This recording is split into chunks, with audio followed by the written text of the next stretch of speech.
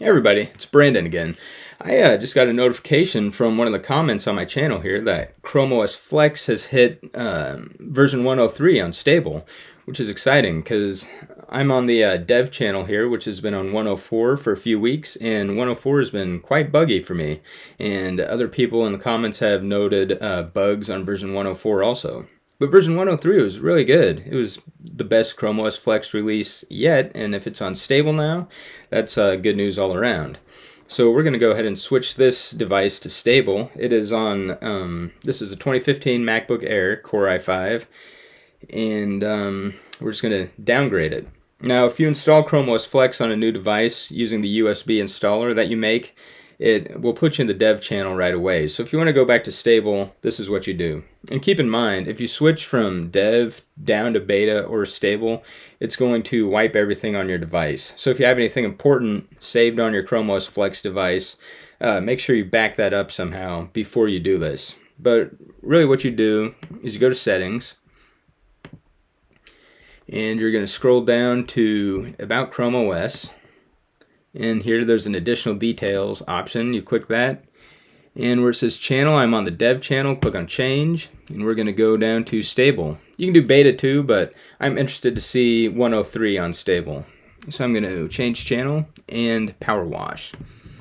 Now, this is going to go ahead. If you go back over here to About Chrome OS, you can see it's updating. It's going to download and install the release. Then it's going to reboot, and we're going to have to go through the whole first time setup again because it's going to be just like installing a new device. So I'm going to stop the video and we're going to come back once this is downloaded and installed. So see you in a second. Okay, so we're back. I uh, got this computer updated, I got it restarted, I got signed in again, and we are on a fresh install of Chrome OS Flex on the stable channel. We are going to go ahead and go to settings and check what version we're on here.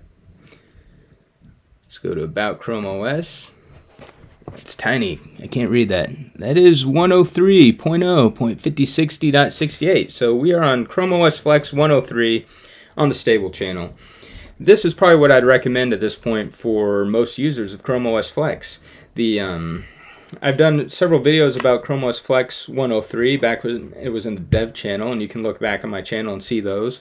Uh, this is a really good release of Chrome OS Flex, and in fact, I don't know just from my weeks using version 104 if there were any new features that I saw at all other than um, it crashing all the time, which whether or not that's a feature, I'll let you decide. So 103 to me is probably the way to go for most people. Um, I'll probably keep mine on the development channel um, just for testing stuff for the video here. But if I wasn't making YouTube videos, this is what I'd be on. Stable is, I think, it's really caught up now to some of the more recent releases, and 103 is a good one, like I said. And so if uh, you're using Chrome OS Flex, especially if you've had crashing problems on some of the 104 releases, I would recommend going ahead and downgrading, which to me is an upgrade to the stable branch, which is version 103. So there you go. It was easy to do. Um, really easy to set up. It only took a few minutes, and here we are on stable, and we're on version 103, a good release.